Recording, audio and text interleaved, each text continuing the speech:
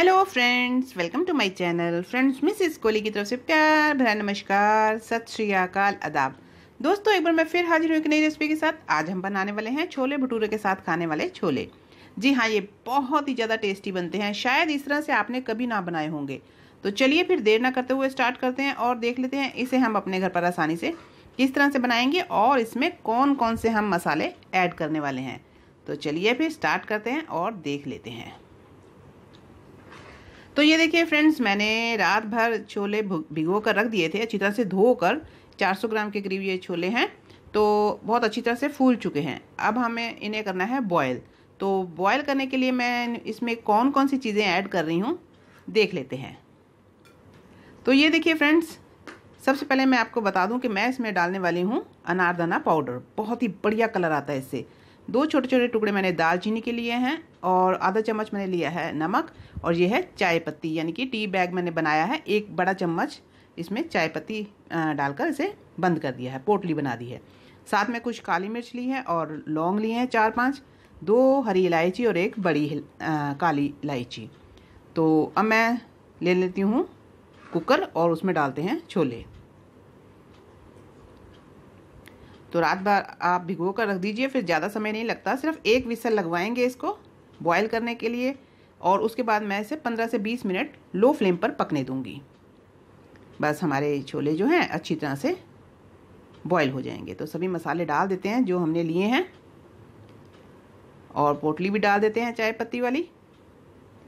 और पानी इसमें मैं थोड़ा सा और ऐड कर रही हूँ, क्योंकि छोले जो हैं अच्छी तरह से भीग जाने चाहिए। और थोड़ा सा पानी ऊपर भी रहे तो हमारे छोले बहुत ही बढ़िया बॉयल होंगे। तो चलिए फिर, रख देते हैं इसे फ्लेम ऑन करके, और पकने देते हैं। तो ये देखिए, आधा घंटा हो चुका है। तो फ्रेंड्स कलर देखिए आप।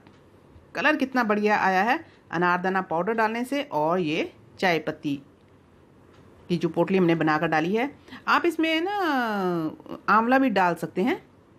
चार पाँच पीस आंवला के इसमें डालकर बॉईल कर दीजिए, तब भी कलर बहुत बढ़िया आएगा। तो ये देखिए, काफ़ी अच्छी तरह से पक चुके हैं। देख रहे हैं ना, गर्म बहुत है। तो मैंने एक विसल इसे लगवाई थी और उसके बाद मैंने 20 मिनट इसे लो फ्लेम पर आराम से पकने दिया है। तो छोले तो हमारे हो गए हैं, बिल्कुल तैयार रख देते हैं साइड पर। और अब देखिए, फ्लेम ऑन करके मैंने कढ़ाई रख दी और डाल दिया है इसमें तीन चार बड़े चम्मच ऑयल। तो ऑयल जैसे ही गर्म होता है, हम डालते हैं इसमें कुछ मसाले। तो जिसमें मैंने लिया तेज पत्ता ये है जवित्री दालचीनी का टुकड़ा बड़ी इलायची आधा चम्मच अजवाइन एक चम्मच साबुत जीरा और हरी आ, मिर्च कट करके। तो सबसे पहले मैं इसमें ऐड करूँगी दो चुटकी हींग। तो अब फिर डाल देते हैं खड़े मसाले और हरी मिर्च कटी हुई लंबाई में और इसे अच्छी तरह से फ्राई करेंगे। कम से कम कुछ सेकंड तो करेंगे। जिससे इसका जो फ्लेवर है ना खड़े मसालों का ऑयल में अच्छी तरह से आ जाए। और खुशबू बड़ी आनी स्टार्ट हो जाती है जब हम हींग का तड़का लगाते हैं ना। और अब डालूँगी मैं इसमें तीन प्याज हैं जिसे मैंने चॉपर में चॉप कर लिया है। पेस्ट नहीं बनाया, लेकिन इस तरह से भी बहुत ही बढ़िया, अच्छी तरह से ये प्याज हमारे भून कर तैयार होते हैं। आप पेस्ट बनाकर भी इसमें ऐड कर सकते हैं। तो इसे मैं हल्का गोल्डन कलर आने तक भून लूँगी।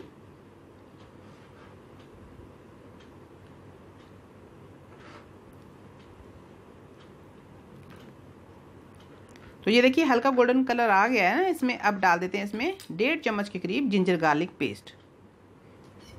ये लीजिए ऐड कर दिया मैंने और मिक्स कर देंगे इसे प्याज के मसाले में।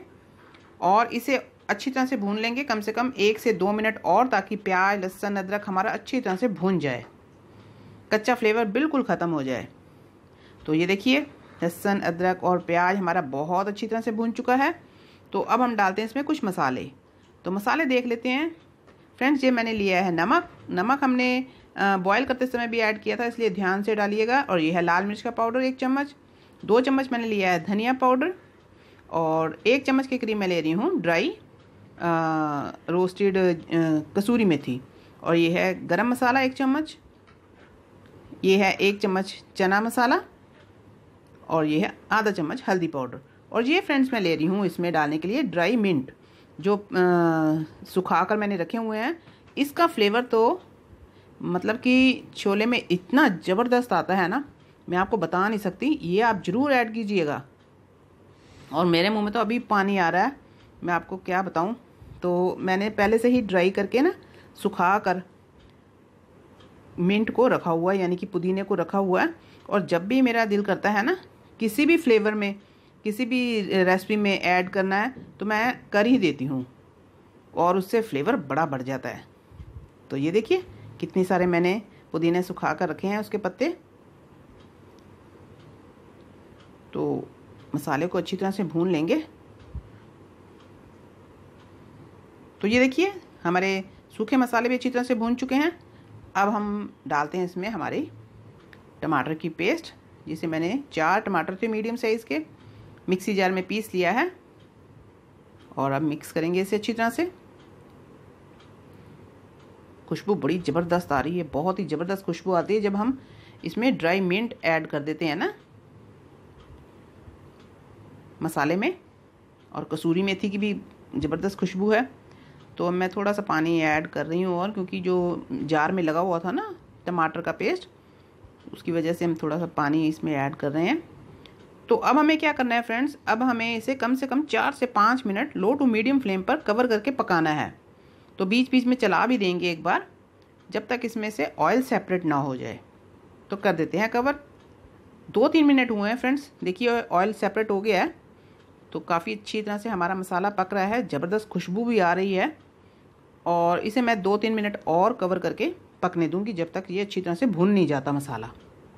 मसाला भुनना बहुत ज़रूरी होता है। मेन होता है बेस मसाला। तो मसाला अच्छी तरह से भुना होगा, तभी हमारी सब्ज़ी अच्छी बनेगी। तो ये देखिए, मसाला कितनी अच्छी तरह से भुन चुका है।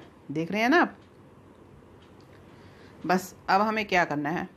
अब छोले जो उबाले हैं ना हमने, उसमें से दो बड़े चम्मच हम इसमें ऐड कर देंगे और इसे इस तरह से प्रेस करेंगे। ताकि जो हमारी ग्रेवी बनेगी ना, छोले की, वो बहुत ही थिक बनेगी। तो इसे अच्छी तरह से मैश कर दीजिए। और मसाले में मिक्स कर देंगे। ये देखिए। और देखिए कितनी अच्छी तरह से बॉयल हुए हैं, फटाफट से मैश हो गए हैं ना। तो मसाले में अच्छी तरह से इसे मिक्स करेंगे और भून लेंगे। ये लीजिए। पता भी नहीं लग रहा कि हमने इसमें छोले ऐड किए थे। इस तरह से हमारा मसाला बहुत ज़बरदस्त बनेगा। तो अब बाकी के जो छोले हैं, पानी समेत इसमें ऐड कर देंगे, जितना भी पानी बचा था। और मिक्स करेंगे इसे एक बार। आप कलर देखिए, छोले का कितना ज़बरदस्त आया है। बिल्कुल ब्लैक हो गए हैं। और जब ये हमारी सब्ज़ी बनेगी ना, ओए होए होए, मैं बता नहीं सकती, आपको बहुत ही टेस्टी बनेगी। आप इस बार, इस तरह से एक बार ज़रूर ट्राई कीजिए, आपको ये बहुत पसंद आएगी। फ्रेंड्स अगर अब मेरी वीडियोस आपको अच्छी लगती है ना तो प्लीज़ इसे लाइक कीजिए, ज़्यादा से ज़्यादा शेयर कीजिए। अभी तक आपने मेरे चैनल को सब्सक्राइब नहीं किया तो प्लीज़ प्लीज़ प्लीज़ मेरे चैनल को भी ज़रूर सब्सक्राइब कीजिए। तो अब हमें बनानी है इसकी ग्रेवी। तो पानी ऐड कर देते हैं। थिकनेस आपके ऊपर है, आप जितनी ग्रेवी रखना चाहते हैं, उसी को उसी की अकॉर्डिंग इसमें पानी ऐड कर सकते हैं। तो वैसे भी जैसे ही ये थोड़े से ठंडे होते हैं ना तो ये काफ़ी गाढ़े हो जाते हैं, इसलिए पानी आराम से डालिएगा। और फ्रेंड्स, अब हमें इसे कवर करके लो टू मीडियम फ्लेम पर कम से कम 25 से 30 मिनट आराम से पकने देना है। फिर चेक करेंगे। तो 30 मिनट पूरे हो चुके हैं इसे अच्छी तरह से पकते हुए पानी को और सारे मसालों को और छोलों को। तो मैंने डाल दिया इसमें गरम आ, हरा धनिया। गरम मसाला तो मैं पहले ही ऐड कर चुकी थी। तो मिक्स कर देते हैं एक बार अच्छी तरह से। तो छोले तो हमारे यहाँ बिल्कुल तैयार। बस अब हमें और कुछ नहीं करना थोड़ा सा ठंडा करते हैं। तो फिर मैं आपको इसे सर्व करके दिखाती हूँ कि ये किस तरह के बने हैं। तो ये देखिए फ्रेंड्स क्या लुक आया है? देख रहे हैं ना और थिकनेस देखिए कितनी अच्छी आ गई ग्रेवी की। सिर्फ़ पाँच मिनट के बाद मैंने आपको ये सर्व करके दिखा रही हूँ। और बहुत ही अच्छे हमारे छोले बन, बनकर तैयार हो चुके हैं। इसे आप भटूरे के साथ खाएँ, चावल के साथ भी खा सकते हैं। तो बहुत ही टेस्टी लगेंगे। तो कैसी लगी आपको मेरी ये रेसिपी